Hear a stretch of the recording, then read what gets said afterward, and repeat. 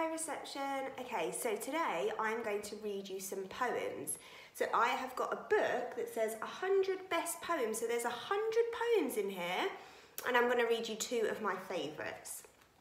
So the first poem is called My Best Ice Cream and it's by Terry Jones. The best ice cream I think I've ever tasted was the one I fell in when I was only 10. It was huge, I tell you, the size of a mountain, and there is no telling when we'll see its like again. The best stick of rock I think I've ever eaten was the one I climbed up when I was only four. It took six days, then I started eating downwards, and when midnight chimed, I gnawed it to the floor. The best fizzy drink I think I've ever swallowed was the one I sailed across when I was only eight. At the great Pacific Ocean and I drank it with an albatross whose name was Kate.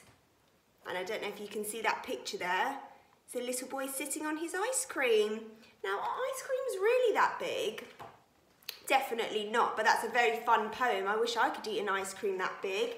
The second poem I'm going to read is called A Dragon in the Classroom and this is the dragon that lives in the classroom. And this is by Charles Thomson.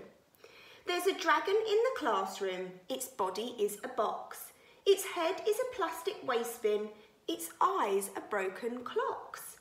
Its legs are cardboard tubes. Its claws are toilet rolls.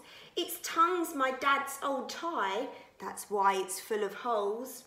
Oh, what a lovely dragon, our teacher smiled and said. You are a pretty dragon. She laughed and stroked its head. Oh no, I'm not, he snorted. Snap, snap, he moved his jaw and chased our screaming teacher along the corridor. Oh dear, so there's a bit of a cheeky dragon and it's made up of lots of different things that they found in the classroom.